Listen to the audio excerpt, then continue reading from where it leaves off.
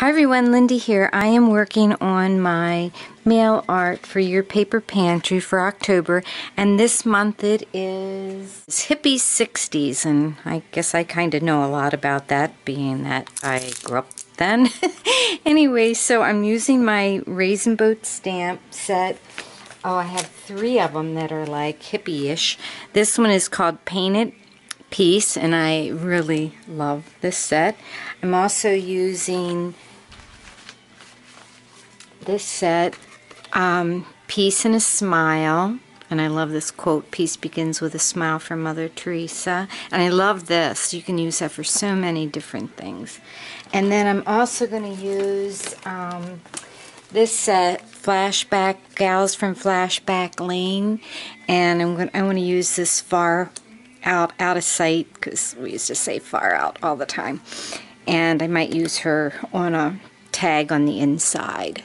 So that's what I'm doing. So what I've done so far is I stamped the splash with um, Memento, which one is this? Rosebud. And then I stamped the purple filigree with grape jelly from Memento. Now I'm taking spun sugar and rolling it and I did that on this, well this first one I used purple. And I don't really I didn't really like it. Plus I didn't like this big X I got.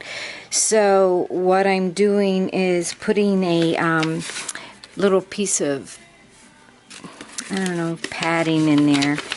And I'm just sticking it in the envelope and then really inking up the the roller.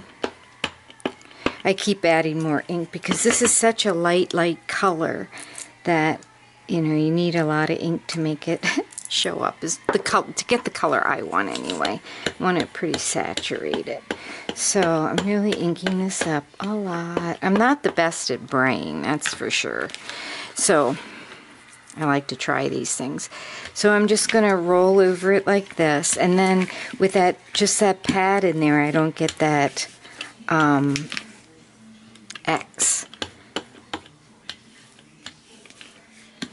See, and you know, it's not real even, which is what I want. And then I also have the spun sugar um, stain, so I was just taking that and kind of going around the edge to get it really on there.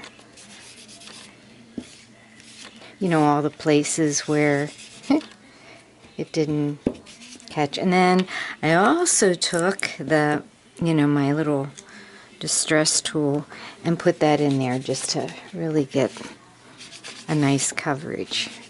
But if I would have done it with this the whole way, it would have been a lot more work. So now I'm working on, I got the envelopes done. I put a little peace sign and some pink butterflies if you watched Under the Dome. Wasn't it when the pink butterflies or something like that fly? I don't know. And um, then I stamped tags with this image and colored them with Copic markers. Then I backed it with some lined paper. And this was just in a, you know, like a Filofax, file effects, you know, that I got um, at St. Vinny's. So it was just that kind of paper. And I just cut it out to fit the back so someone could write on it.